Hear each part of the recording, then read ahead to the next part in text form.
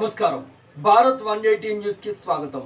రోడ్లపై చెత్త వేసేవారికి Kakinada municipal commissioner వినూత్న రీతిలో గుణపాఠం చెబుతున్నారు. నగరవాసులు తమ పరిసరాలను శుభ్రం చేసే కార్పొరేషన్ మున్సిపల్ సిబ్బందికి చెత్త అందించేందుకు ముందుకు రావడం లేదు.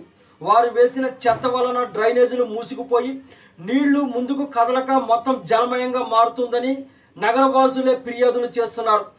దీంతో స్పందించిన కాకినాడ కమిషనర్ స్వప్నిల్ దినకర్ పొండ్కర్ రోడ్డుపై చెత్త వేసే వారి కుటుంబాలకు గుణపాఠం చెబుతున్నారు.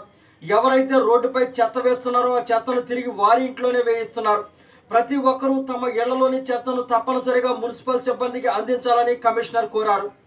ఇవ్వకపోతే అమ్మాయి చేతిలో ఆ డస్ట్బిన్లో ఉన్న చెత్త టోటల్ మీ ఇంటికి వస్తాను ఆ, ఎవరు కానీ ఇక్కడ వేస్తారు అంతే. తినండమ్మా అందరూ అందరికి చెప్పాను నేను అప్పుడు. సెపరేట్ చేయండి వర్కర్కి ఇవ్వండి. అన్ని ఇంటింటికి తిరిగి సార్ చెప్పాలేంటి? తీసుకోండి. ఇవ్వండి. ఇవ్వండి ఇవ్వండి గిఫ్ట్ ఇవ్వండి. ఆ, అయ్యో చేయి చేయి చేయి చేయి. మంచిది అలా. అలాగే చేయాలి. అలాగే అవుతుంది.